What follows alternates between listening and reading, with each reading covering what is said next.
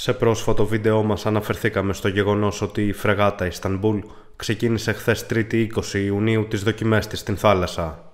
Η φρεγάτα Ιστανμπούλ σχεδιάζεται να συμπεριληφθεί στον κατάλογο της Διοίκησης Ναυτικών Δυνάμεων τον Σεπτέμβριο του 2023. Σημειώνουμε ότι το τουρκικό ναυτικό έχει τον μεγαλύτερο αριθμό φρεγατών, 16 συνολικά σε τρεις κλάσεις, μεταξύ των ναυτικών της Ανατολικής Μεσογείου. Ωστόσο, περισσότερες από τις μισές φρεγάτες του είναι άνω των 30 ετών και χρήζουν αντικατάστασης, ενώ ο μέσος όρος ηλικίας τους είναι 36 έτη.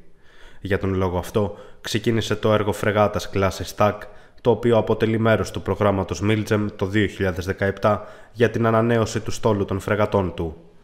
Εκτός της φρεγάτας Ιστανμπούλ, πρόσφατα έγιναν διαγωνισμοί για το δεύτερο, τρίτο και τέταρτο πλοίο της εν λόγω κλάση.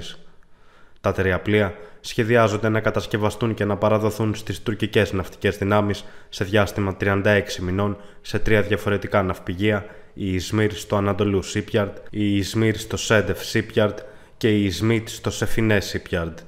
Σύμφωνα με τουρκικό μέσο μαζικής ενημέρωσης, το Εθνικό Σύστημα Κάθετης Εκτόξευσης της Rocket Midlas ενσωματώθηκε στην φρεγάτα Ιστανμπούλ.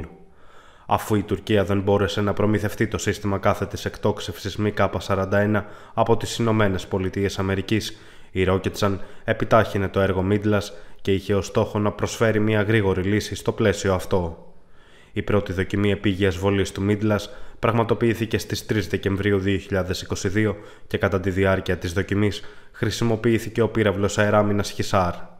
Σύμφωνα με τις πληροφορίες που ελήφθησαν, στο πλαίσιο των θαλάσσιων δοκιμών της Ιστανμπούλ θα πραγματοποιηθεί η θαλάσσια φάση των δοκιμαστικών δραστηριοτήτων του Μίτλας. Προς αυτή την κατεύθυνση αναμένεται βολή Χισάρο Plus σε πολύ σύντομο χρονικό διάστημα πάνω από το Μίτλας ενσωματωμένο στο STM Ιστανμπούλ.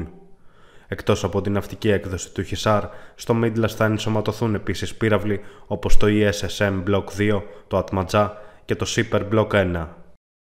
Ευχαριστούμε που μας παρακολουθήσατε. Για να λαμβάνετε πρώτοι όλες τις νεότερες εξελίξεις, κάνετε like και εγγραφή στο κανάλι μας.